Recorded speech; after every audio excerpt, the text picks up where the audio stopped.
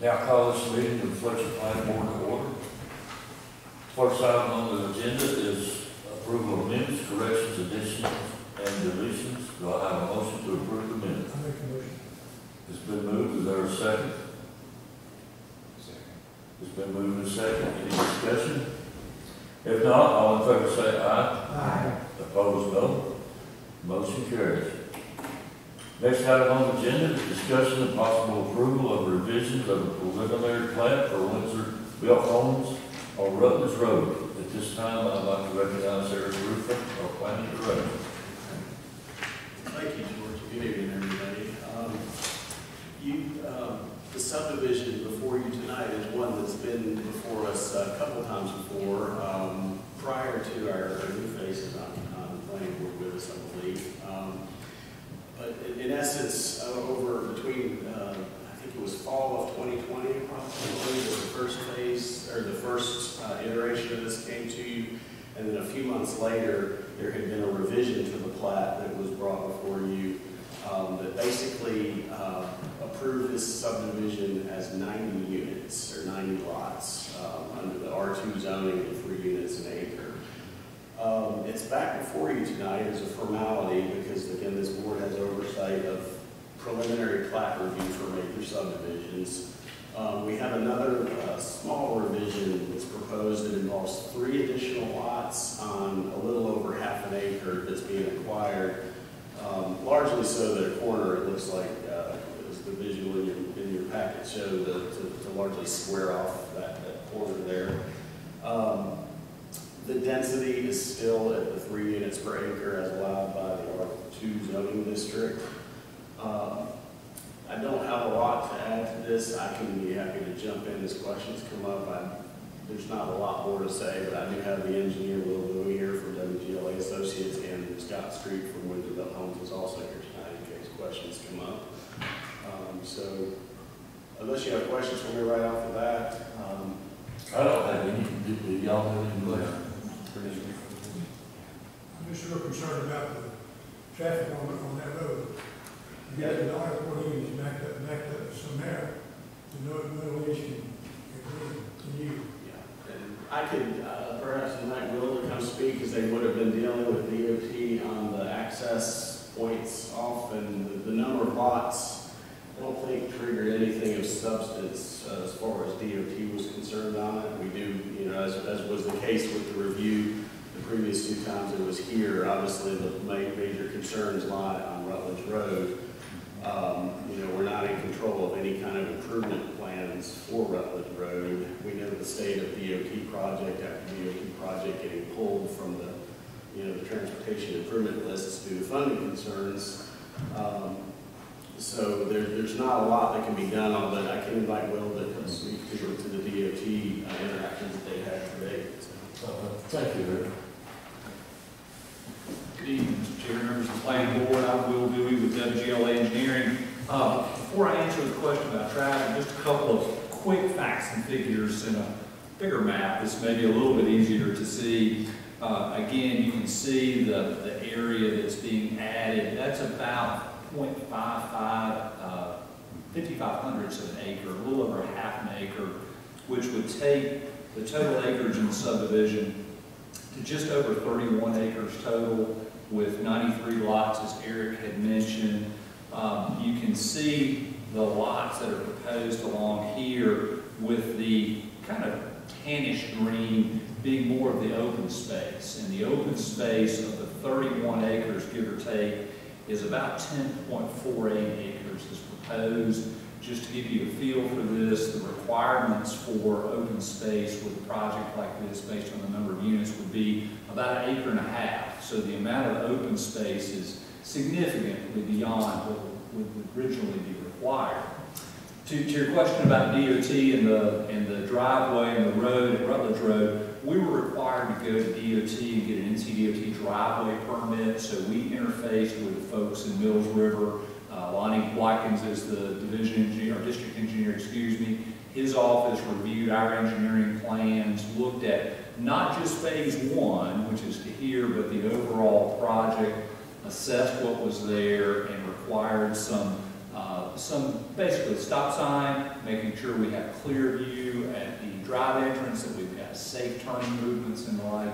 They did not require a traffic study, it was below the threshold of a traffic study requirement. It didn't require any turning lanes based on the number of, of units. So basically, DOT does an internal assessment if you're below a specific threshold. Well, we're really in bad shape with traffic on that road now. I understand. Hundred and fifty-six houses on there, your, um, one door. Right. It's gonna make it impossible in the morning. It's, it's certainly getting busy going through there, no doubt about it. And as, and as Eric said, I think the, the thing that we hear, not just in Fletcher, but in all the communities we talk with, are the same thing, that DOT projects are continually being pushed back further and further. And I, I really would encourage you to, to talk to your DOT board members, to talk to the local DOT folks, and provide the priorities for the town. I know your town council has provided a number of priorities for, for DOT to pushing along. Joe, if I could interject one other thing too, it's, it's such that, you know, there's, we're, you know, being as small as town as we are, we're about six and a half square miles. Um, there's not a lot of large tract acreage left. I mean, these subdivisions that you're seeing, we're in some of the two larger tract, um, sites available for development. And you'll remember that at one point, um, we were getting asked to rezone this by a different entity to, uh, put in high-density, uh, multifamily residential there. And both planning board and council held the line and kept the zoning as it currently was zoned for single family.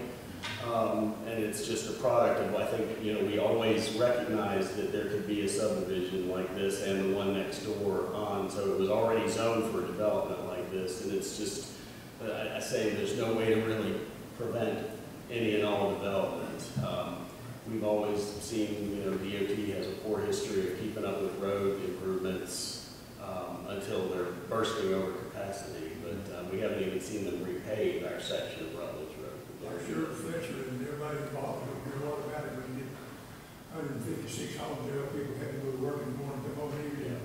can't get out. Yeah. You wait a long time, now with no traffic, you wait a long time to get to see the airport road. It'll be ten, twelve cars deep every time, any time of day. I feel, I feel frequent calls just in general about Rutledge Road, and again, the- as with all the DOT maintained roads, I end up having to refer them to the local DOT office in the river. And hopefully. You hopefully, know, I commented on that, we were talking about it the first time. absolutely you did. Yes, sir. This is, you said there wasn't any problem, but we, we're gonna have a problem with hundred fifty-six thousand here. Right. All right. Be glad to answer any other questions, Mr. Chair, if anyone has any. Any questions? Um, comment? Sure, sorry I missed last time. But um, usually when a person uses the term rubber stamp something, it's kind of in a derogatory fashion. But if there were ever a case for rubber stamping, I don't see any reason for any further discussion on this one. Right. Is, uh, even the issue about the roads is beyond Yeah, our. that's, that's not. It's got nothing to do with the town. I, I agree with Joe, we're, we're gonna think that Yeah. I don't want. But yeah, um, there has, uh, been discussion in the past about not being able to do these things at staff level. But the way that the ordinance is written, that we have to do it this way, so it's, uh, a little inconvenient, but I would prefer to have this ability to scrutinize in the future instead of staff level, we find out after the fact. So, uh, That's one of the advantages. Any other questions or comments? If not, I guess we would take it to a vote, unless y'all have anything to add, or? Thank you, Mr. Chair. Thank you. All right. Um, Do I have a motion that we approve these revisions to the preliminary plan for Windsor Built Homes? I'll make that motion. It's been moved, is there a second? Second.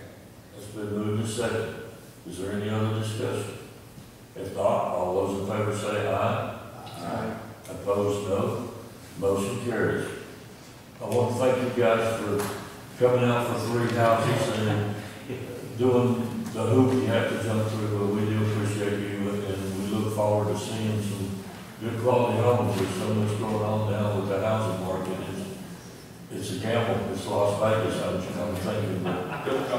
good luck to y'all. Thank you. Thank you so much. Uh, Next item on the agenda is staff updates and potential pending item. Uh, once again, I recognize our approval. Um, I don't have anything really much else to add tonight. There's, as, as I keep mentioning for the last few months in a row, there are a couple of items that I feel like are hanging out there, potentially getting ready to be submitted, that I keep being surprised by them missing the deadline. So I don't know if there's a couple of, you know, I, I often joke, you, you often get twenty or thirty inquiries about a particular piece of property before you actually end up with a solid development proposal come to fruition. So there's a couple of things that I wouldn't be surprised to turn up, but I'll just keep in touch via email, so. Is the Hoopers Creek, the parcel there that you? And that, and that commercial corner there. Yeah, used um, to be Charlie's on the creek. That, that's one of them that I'm, I'm less in- inclined to think where we have anything imminent coming, but. uh, I noticed, you know, I live right around the corner, they're working there. They have, yeah, there is a, there is a tenant going in that location, and for uh, anybody who doesn't know, we're talking about the intersection, the old commercial building, the intersection of Hoopers Creek Road, Souther, and Burney Mountain all comes together. The old historic looking building where the grocery store once was. Um, their, Black Bear Coffee is getting ready to be a tenant in the area and a half that they're working on. And the owner of that property has discussed on numerous occasions various ideas he's got for the other part of the property. inclu- You know, he's, he's talked about wanting to do additional development behind it.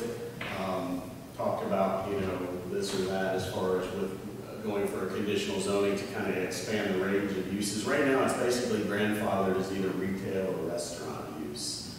Um, So it, it's been a lot of idea discussion, but uh, nothing has come. So the tenant will not be occupying the whole property? As far as I know, that the tenant was just taking up, I don't know if it was perfectly divided in half or not. I feel like that, that part might have been maybe two-thirds the size of the building. Yeah, a new addition has been added on, so that's. I, I do know the restaurant half was vacated, and I'm confused as to the ownership of that. I know it was on the market and getting ready to transfer ownership possibly to the gentleman that owns what's becoming Black Bear, but, um, it's a lot of speculation, and it's like a kind of, that one's less on the radar. There was a couple other more pertinent ones that were, were like, two more timely ones than I thought were coming quicker, but, but hasn't, materialized, so I've learned to quit, uh, quit, quit guessing, too.